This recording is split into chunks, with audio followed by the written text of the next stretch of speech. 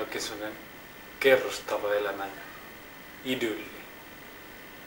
Mä yritin päästä lähteä poikien kanssa ulos ja kirjoitin kaikenlaisia pankkilaskuja tota, valmiiksi. Ja sitten ne karkaa multa tuonne rappuun ja pitää hirvetä melua ja loppujen lopuksi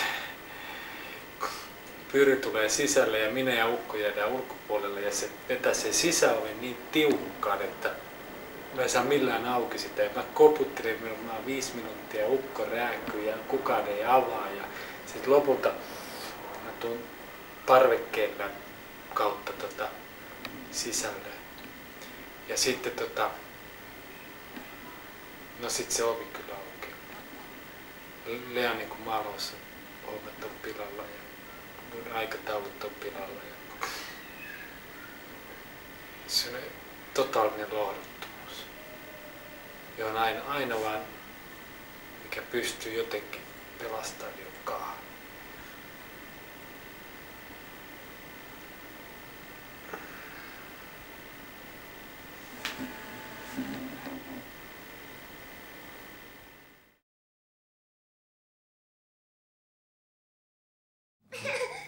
Pitää muistaa mikä on tärkeää. Haluatko sä tyyni leipää? Haluatko säkin leipää? Äiti antaa. Niin, no yksi keskeinen kysymys on tota...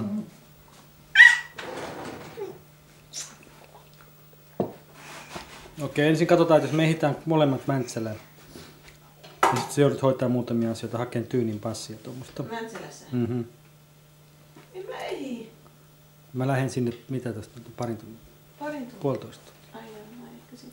Mun pitää pestä hiukseni. Aha. Niin tota...